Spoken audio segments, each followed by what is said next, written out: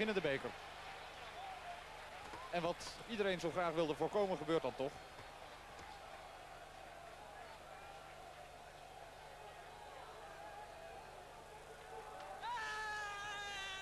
Van shirts ruilen is zo geen sprake meer.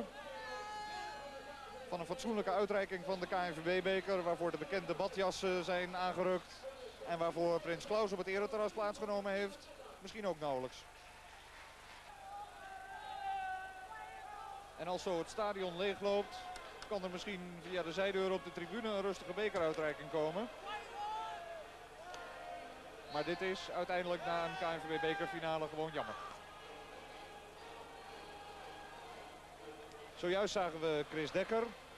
Die zijn speler zoals nu ook aangeeft dat het geen zin heeft om op het veld te blijven.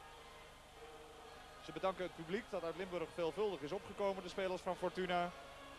Maar ze gaan niet naar het ereterras, wel naar de kleedkamer. Maar vieren wil men het nog niet, omdat Ajax in theorie nog langs zij kan komen. Gebreid wordt gefeest of wordt afgebroken zoals u wilt. De stemming is